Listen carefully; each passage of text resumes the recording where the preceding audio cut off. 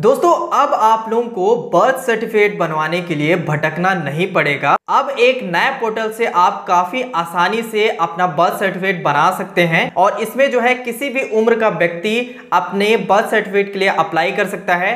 तो आज के इस वीडियो में आप लोगों को पूरा प्रोसेस दिखाने वाला हूँ किस प्रकार से आप लोगों को अपने बर्थ सर्टिफिकेट के लिए अप्लाई करना है। चलिए दोस्तों वीडियो को स्टार्ट करते हैं। आप लोगों को national portal of India government dot G O V dot in इस वाले वेबसाइट पे आ जाना है। इस वेबसाइट का डायरेक्ट लिंक मैंने आप लोगों को डिस्क्रिप्शन में दे दिया है। तो उस पर क्लिक करके आप इस वेबसाइट पे आ सकते हो। यहाँ पे इस पोर्टल में आने के बाद दोस्तों आप लोगों को सबसे पहले यहाँ पे देखने को मिल जाता है बर्थ सर्टिफिकेट का ऑप्शन।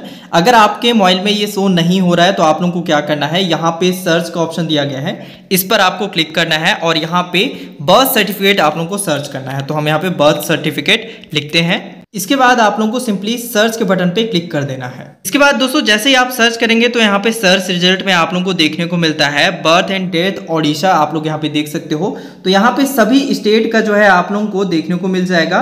जिस भी स्टेट में ऑनलाइन बर्थ सर्टिफिकेट बनाया जाता है, वो स्टेट का लिंक आप लोगों को यहाँ पे देखने को मिल जाएगा। आप जैसे ही बर्थ सर्टिफिकेट यहाँ पे सर्च करेंगे तो तो यहाँ पे फ़र्स्ट में आ गया है इसके अलावा आप लोगों को यहाँ पे कई सारे स्टेट्स के देखने को मिल जाएँगे ठीक है आप लोग यहाँ पे कई सारे पेजेस हैं आप लोगों को यहाँ पे देखने को मिल रहा होगा यहाँ पे आप जो है सेकेंड पेज में भी जा सकते हो थर्ड पेज में भी जा सकते हो यहाँ पे आप चेक कर लेना एक बार आपके स्टेट का अगर शो हो रहा है तो ऑनलाइन बनना स्टार्ट हो गया है ठीक है यहाँ पे हिमाचल प्रदेश का आप लोग देख पा रहे होंगे ठीक है यहाँ पे आप देख सकते हो इसी प्रकार से आप लोगों को हालाँकि सभी स्टेट्स का यहाँ पे देखने को मिल जाएगा यहाँ पे आप लोग एमपी का देख सकते हो।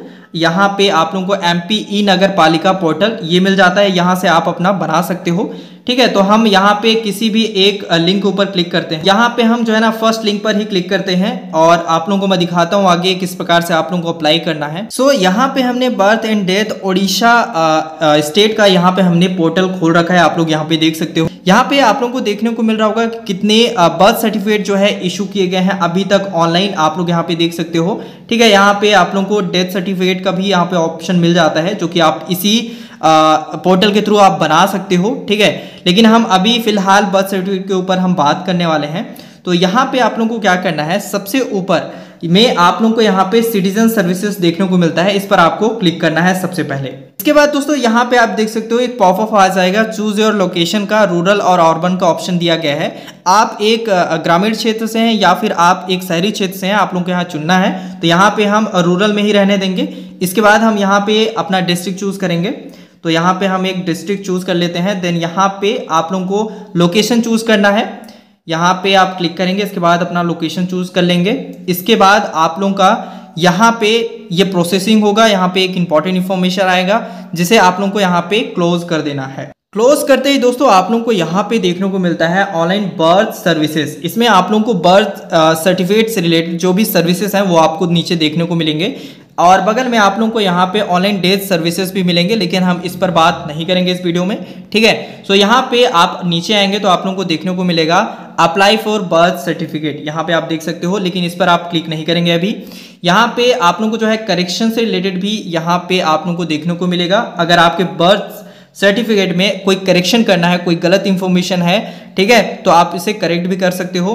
यहाँ पे आप लोगों को डाउनलोड करने का भी ऑप्शन मिल जाएगा। जैसे ही आप लोग अप्लाई करेंगे, उसके बाद आप लोगों का बन जाएगा तो आप लोग डाउनलोड भी कर सकते हो। स्टेटस भी आप लोग यहीं चेक कर पाओगे। हालाँकि मैं आप लोगों को आगे बताऊँगा। नीचे आना है आप लोगों को और यहाँ पे आप लोगों को देखने को मिलेगा apply for birth and AC इस पर आपको क्लिक करना है।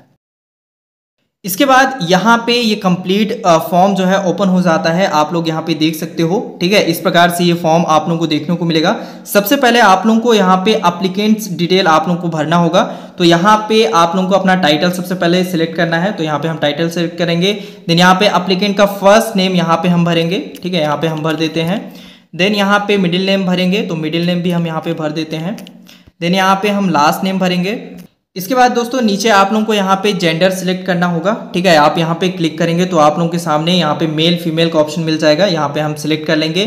देन यहाँ पे केयर ऑफ़ में आप लोगों को फादर या फिर हस्बैंड दो ऑप्शन मिलता है तो यहाँ पे हम फादर के ऑप्शन पे क्लिक रहने देंगे। इसके बाद हम यहाँ पे अपने फादर का फ़र्स्ट नेम इंटर करेंगे। इसके बाद यहाँ पे मिडिल नेम इंटर करेंगे, अगर है तो। फिर लास्ट नेम यहाँ पे इंटर करेंगे, ठीक है? इसके बाद इसके जस्ट नीचे आएँगे आप लोग तो यहाँ पे चाइल्ड डिटेल्स आप लोगों को भरना होता है, ठीक है? तो यहाँ पे सबसे पहले डेट ऑफ़ इंफॉर्मेशन दिया गया है तो आज का ही डेट है तो इसे आप लोग चेंज नहीं करेंगे। यहाँ पे डेट ऑफ़ बर्थ आप डालेंगे, ठीक है? तो यहाँ पे आप लोगों को जस्ट आप जैसे ही क्लिक करेंगे तो एक कैलेंडर ओपन हो जाएगा।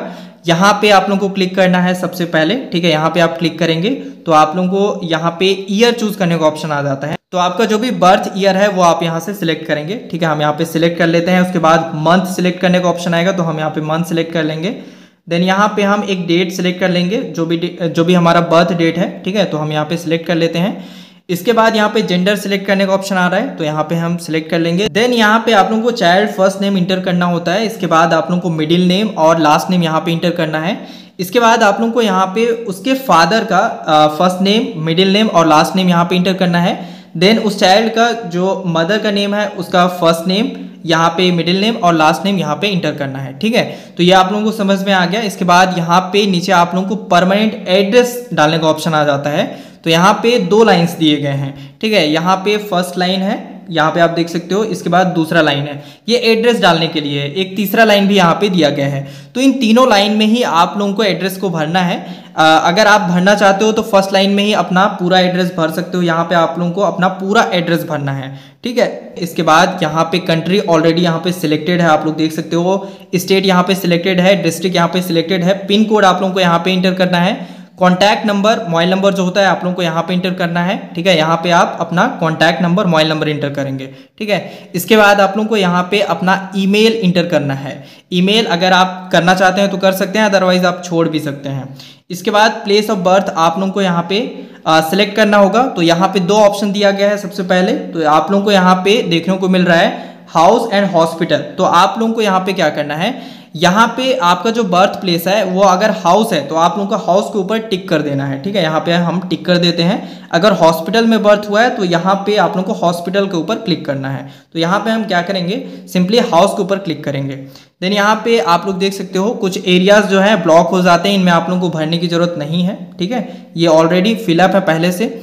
यहाँ पे आप लोगों को एड्रेस भरना होगा। अगेन आप जो एड्रेस पहले भरे थे, वही एड्रेस आप लोगों को यहाँ पे भर देना है। ठीक है? और ये जो एड्रेस लाइन टू है, इसे आप छोड़ सकते हो। एड्रेस लाइन थ्री इसे भी आप छोड़ सकते हो अगर आप पूरा एड्रेस एड्रेस लाइन वन में भर रहे हो तो ठीक है? यहाँ पे आप लोगों को प्रॉपर एड्रेस अपने आधार कार्ड में देखकर भरना है। इसके बाद नीचे आप लोगों को यहाँ पे पिन नंबर अपना डाल देना है। यहाँ पे तहसील आप लोगों को सिलेक्ट करना है। तो यहाँ पे हम क्लिक करेंगे। यहाँ पे तहसील के नेम आ जाते हैं तो हमारा तहसील हम यहाँ से सिलेक्ट करेंगे। देन यहाँ पे अटैच डॉक्यूमेंट यहाँ पे एड्रेस प्रूफ आप लोगों को एक अपलोड करना होगा, ठीक है? आप अपना आधार कार्ड यहाँ पे अपलोड कर सकते हो, ठीक है? यहाँ पे आप लोगों को अपलोड करना है देन आप लोगों को आईडी प्रूफ एक अपलोड करना है, जिसमें आप लोग अपना आधार कार्ड अगेन यहाँ पे अपलोड कर सकते हो। इसके बाद एफिडेविट है अगर आप लोगों के पास। अगर आपका जन्म जो है हॉस्पिटल में हुआ है तो आप लोगों को एफिडेविट ज़रूर मिला होगा तो आप लोग इसे अपलोड कर सकते हो यहाँ पे। डॉक्टर का अगर एफिडेविट है आपके पास तो उसे भी आप लोग यहाँ पे अपलोड कर सकते हो। देन यहाँ पे एक कैप्चा आप लोगों को देखने को मिलता है, यहाँ पे आप देख पा रहे ये कैप्चा इसे आप लोगों को यहाँ पे इंटर कर देना है। इसके बाद नीचे आप लोग आएँगे तो यहाँ पे आप लोगों को एक टिक लगाने का ऑप्शन मिलेगा। मैं आप लोगों को दिखा देता हूँ। यहाँ पे आप देख सकते हो एक टिक लगाने का ऑप्शन है। इस पर आप लोगों को क्या करना है टिक कर देना है। इसके बाद यहाँ पे आप लोगों को एक सबमिट का बटन देखने को मिल रहा है। यहाँ पे आप लोग देख पा रहे ठीक है? इस पर आपको क्लिक कर देना है। तो यहाँ पे आप जैसे ही सबमिट करेंगे तो ये अप्लीकेशन जो है ना, पूरे डिटेल्स के साथ में सबमिट हो जाएगा। और ये जो है, आप लोगों का अंडर प्रोसेस में रहेगा कुछ दिनों के लिए। इसके बाद ये जो बर्थ सर्टिफिकेट है, ये आपका इशू हो जाएगा। ठीक है? यहाँ पे आप जैसे सबमिट करेंगे ना तो आप लोगों को एक रेफरेंस नंबर मिल जाएगा, एक ट्रैकिंग आईडी मिल जाएगा। उसे आप लोगों को नोट कर लेना है, या फिर आप उसे स्क्रीनशॉट भी कर सकते हो। ठीक है? उसे आप लोगों को नोट करके रख लेना है। अब उसका क्या काम आएगा, आगे मैं आपको बताता हूँ। अब देखिए, जैसे ही आप सबमिट करेंगे तो आपको एक ट्रैकिंग आईडी मिल जाएगा, वहाँ पे रेफरेंस नंबर तो यहाँ पे आप फिर से आएँगे इसी वेबसाइट पे तो आप लोगों को यहाँ पे एक ऑप्शन देखने को मिलता है चेक बर्थ एप्लीकेशन स्टेटस इस पर आप क्लिक करोगे। इसके बाद यहाँ पे आप लोगों को कुछ इस प्रकार का इंटरफेस देखने को मिलेगा। यहाँ पे आप देख सकते हो, यहाँ पे सबसे पहले आप लोगों को सर्विस सिलेक्ट करना है। तो यहाँ पे आप क्लिक करेंगे, यहाँ पे आप लोगों को बर्थ सर्टिफिकेट यहाँ पे बर्थ रजिस्ट्रेशन के ऊपर क्लिक कर देना है।